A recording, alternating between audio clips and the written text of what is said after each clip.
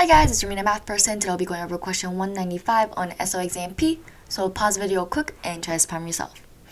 Okay, assuming you you already attempted it, let's just dive right in.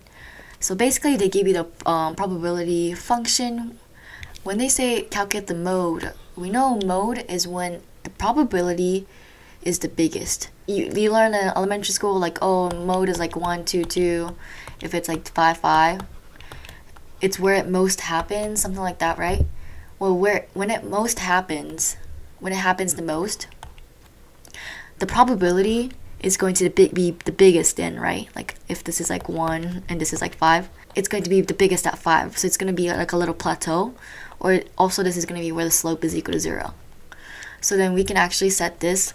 Oh, and it's proportional too. So we know there's a c in there. But the, you'll notice that you won't actually have to find a value of c. So we're going to take the derivative of this. Um, take the derivative in terms of x.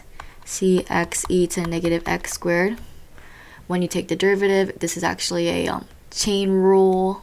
So this is equal to, um, taking the chain of the first one, will be c e to the negative x squared plus c x, taking the derivative of the second value here, e to the negative x squared times negative 2x. So this is also equal to, when I factor out the c e to the negative x squared, you get 1 plus negative 2x squared. Do you agree? I think so too. so then this, I can set it equal to 0 to see where this little, where the most is, mode is.